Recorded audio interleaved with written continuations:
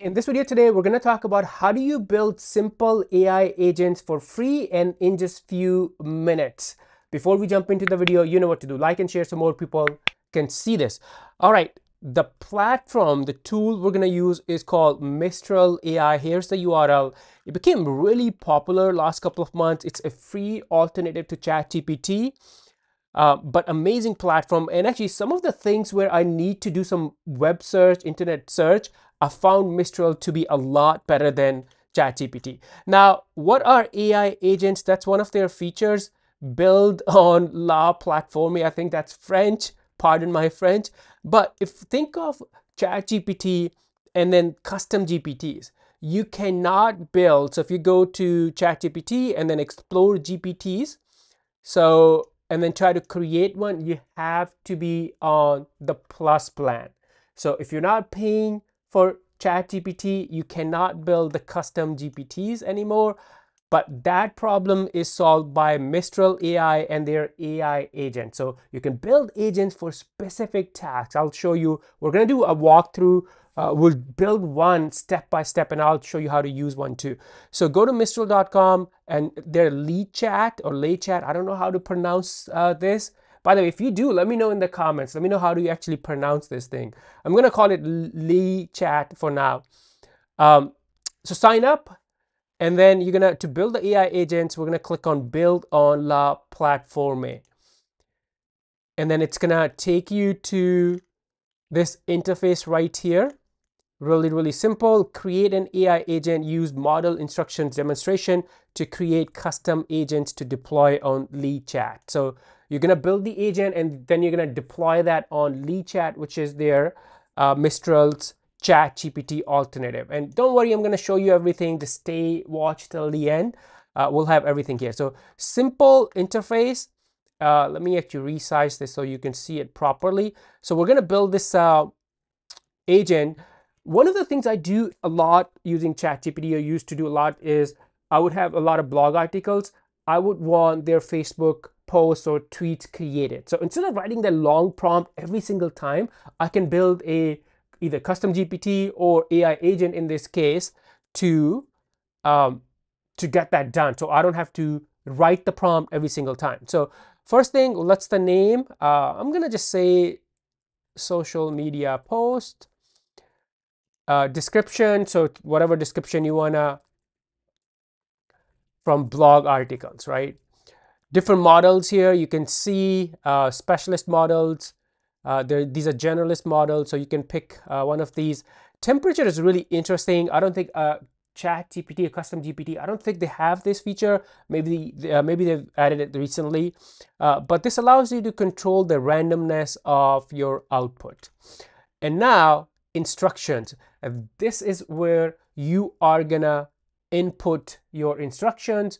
What do you want this agent to do? So let me copy this and then we'll talk about this instruction or so obviously the more detailed uh, the better so for now what I'm telling this agent to do is let's do this you are a marketing expert you're amazing at writing tweets and Facebook posts so I'm assigning a role I'll give you a link of a blog article and you will create two different tweet variations two different Facebook post variations uh, and then here are specific instructions. Use short sentences, simple English bullet points, use emojis and hashtags. Uh, and then here's a, I wanted to use PAS framework. That's problem agitate solution uh, framework. That's one of the copywriting frameworks a lot of people use and I love it. Uh, don't use those words in the, uh, in the output and then format the output to be, um, so it's easy to read, use spaces. So make it, you know, easy to read uh, thing. And then if you scroll down, I love this demonstration. This is where you can input. Um, so for example, if this is what I want, this is going to be my input. You can also put some example output. So this is where you give the LLM platform a role, which we did, instructions, which we did, and then use some examples. So I would say put some examples here, add some examples here. Uh, I'll show you because I've built this agent already. So I'll show you uh, in a second the agent that I built, what type of instructions I gave it. But simple, So step one, name. Step two, model. Step, step three, select the randomness. Step four, add your prompt or instruction. Step five, add examples or demonstrations. And then what you want to do is click on deploy. And there are two deployment clicks you have to do. One is right here, and I'm not going to do it because I've already built this agent. I'll show you in a second. Once you click on deploy, there's another click deployment on LeChat that you have to do. So let me go back without saving. Here's the one that I've already built, a social media post agent. There's one I've built for email.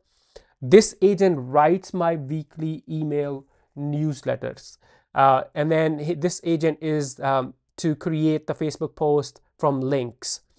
So when I click here, so first of all, when you hit deploy, and then you're to see this option right here, deployment to LeChat. So make sure you click that too. So it becomes available inside your LeChat or uh, ChatGPT alternative, right? So make sure there are two deployment clicks you have to do.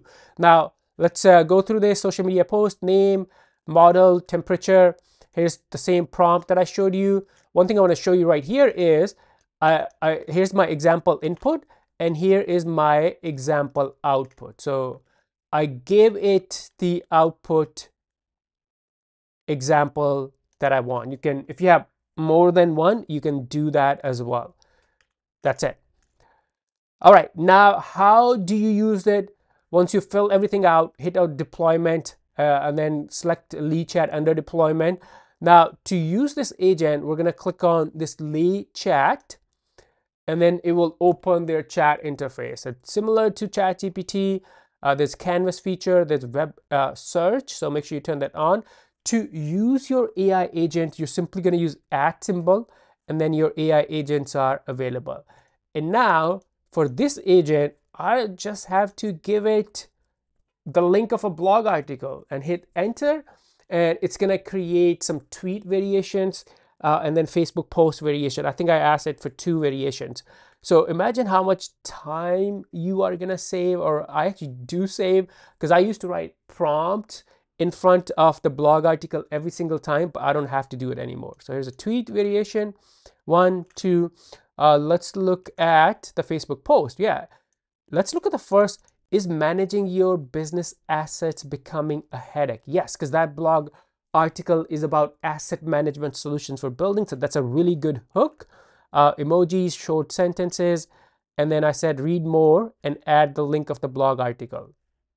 So here's that blog article. Ooh, let me go back, find it.